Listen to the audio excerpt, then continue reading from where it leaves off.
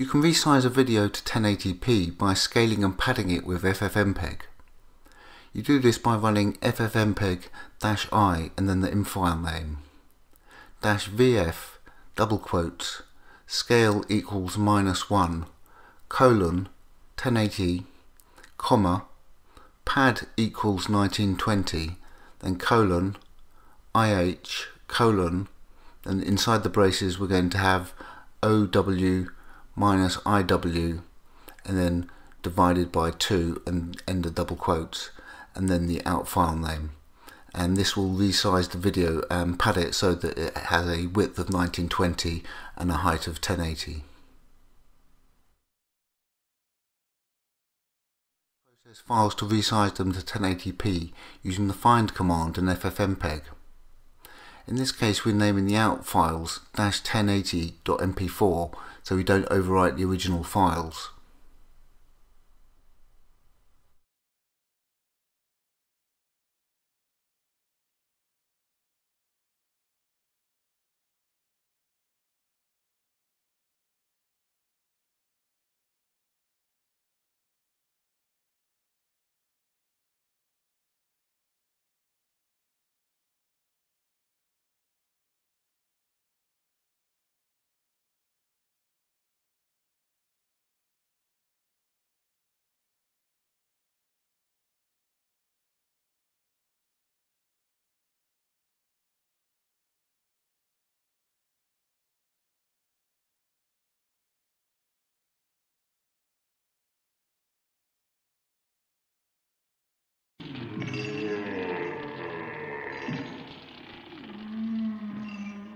The ghosts are moving tonight, restless, hungry.